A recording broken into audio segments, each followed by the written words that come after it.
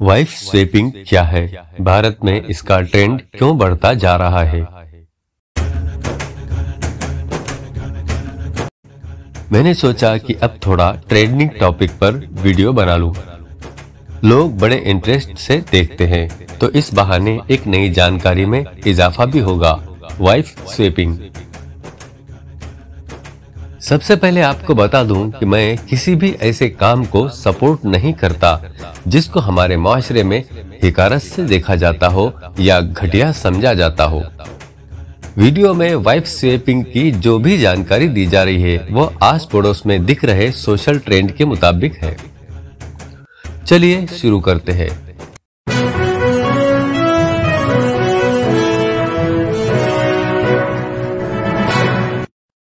Wife लफ्ज के मतलब से तो कोई अनजान नहीं है। स्वेपिंग का मतलब अदला बदली। वाइफ स्वेपिंग मतलब हुआ एक रात के लिए पतियों या पत्नियों की अदला बदली। दोनों का मतलब मेरे हिसाब से एक ही होता है और नाम भी वाइफ स्वेपिंग लेकिन मैं नहीं चाहता कि लिबरल्स की डेफिनेशनों और उनके नॉलेज साइंस के मुताबिक मैं नारीवादियों के खिलाफ खड़ा दिखूं, इसलिए वाइफ स्वेपिंग को हम पतियों की अदला बदली बोलेंगे। पिछली चार पाँच पीढ़ियों से मॉडर्न माहौल में पले बड़े लड़के लड़कियाँ अपने माँ बाप को हल्के लेवल की फ़िल्में टीवी सीरियल और हल्के लेवल की बातें करते देखकर बड़े हुए। पीढ़ी दर पीढ़ी तर्ज अमाल में और किरदार में हल्का बन काबिले कबूल होता चला गया। लड़कियों के बीच लड़कों को तो बद किरदार माना जाता था। फिर उसी को लेकर ad makers, Bollywood film makers, इन जैसों ने माशरे में एक माहौल बना दिया। Why should only boys have fun लड़कियों की रीजनिंग पावर ने तो पूरा काम ही कर दिया कि हम ही क्यों ठेका ले? पतिव्रता होने का।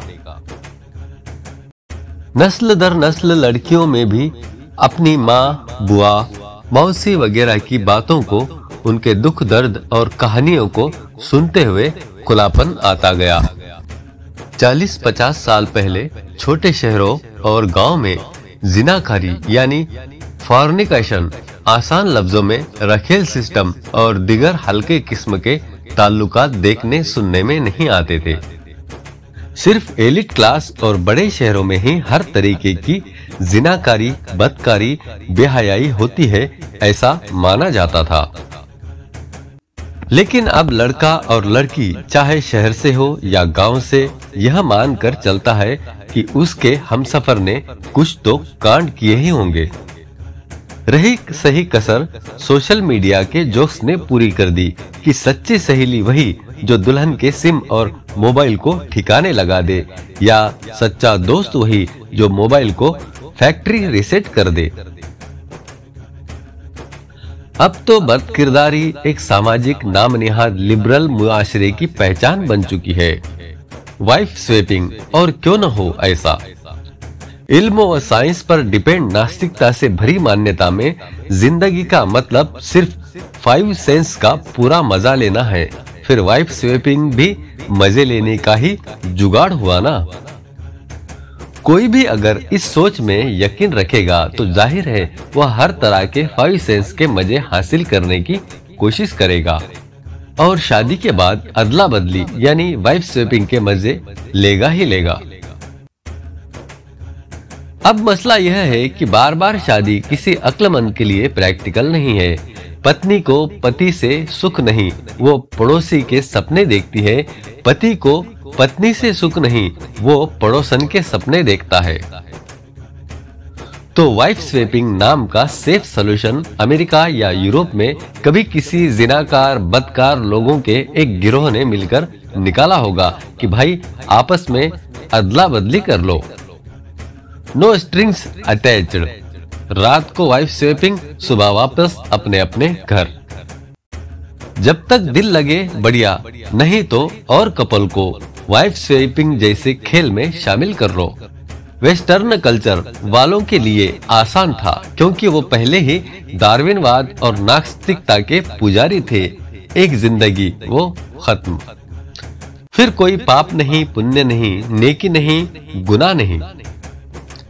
आहिस्ता आहिस्ता भारत में भी वाइफ स्वेपिंग जैसी सोच की मान्यता बढ़ती चली गई। और शुक्रिया अदा कीजिए वेब सीरीज़ का, जो सिर्फ़ और सिर्फ़ वाइफ स्वेपिंग इसका टाका उसके साथ, उसके नाजायज ताल्लुक इसके साथ, जैसे सब्जेक्ट पर ही बनती है। यह सीरीज़ भी वाइफ स्वेपिंग जैसी मान्यता को कायम कर रही है। आपको ये जानकारी कैसी लगी? कमेंट करके ज़रूर बताएँ। आप देख रहे एस डी ट्वेंटी फोर